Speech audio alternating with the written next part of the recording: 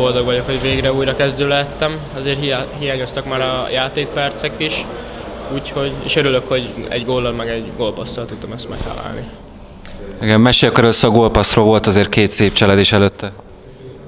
Ö, igen, hát igazából ö, megkaptam a labdát és próbáltam minél közelebb a kapuhoz kerülni, és így jött ki valahogy a lépés. Aztán meg megláttam, hogy a kodró az nagyon jó ütembe indul be, gondoltam, akkor megpróbálom oda rúgni a fejére.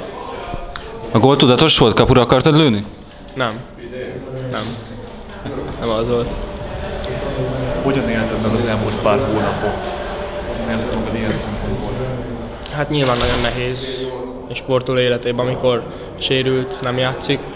Úgyhogy a sérülés után nehezen is tudtam így visszaverekedni magam, mert még azért lábadoztam a sérüléssel, úgyhogy, de úgy érzem, hogy most talán ez megszakad. És nyugtass meg, hogy azért vagy bizakodó vagy. Nyilván már csak egy pár meccs van hátra, de így jól tértél vissza a kezdőbe. Azért ilyen szempontból bizakodsz a következő egy-két-három meccsre nézve.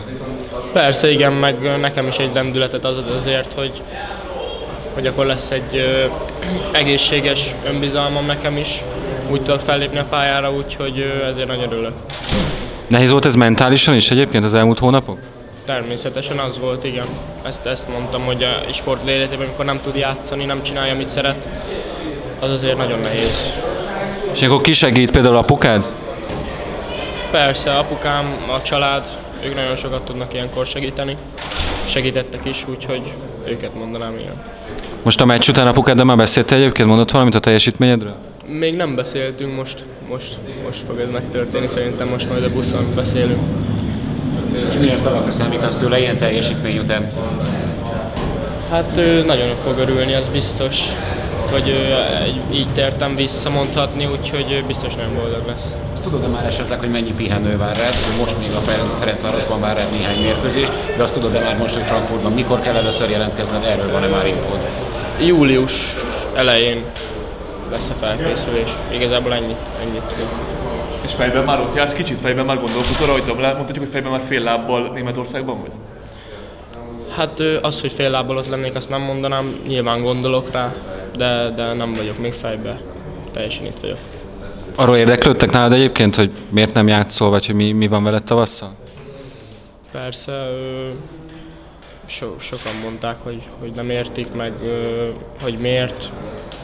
Így alakult igazából, erről én sem tudok sokkal többet mondani. Mennyire tudtad így felhőtlenül ünnepelni a bajnoki címet?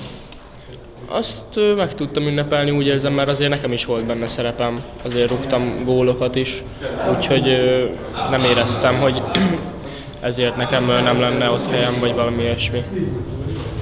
Igen, mondtad, hogy hiányzott a játék, hiányzott a gól is, hiszen ugye az is december közepén volt utoljára. Hát az hiányzott a legjobban, igen.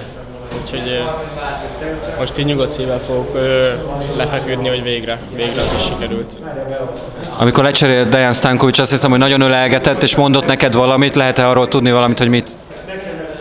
Annyit mondott igazából, hogy tudja, hogy nagyon nehéz volt a utóbbi idő, de hogy így kell visszatérni.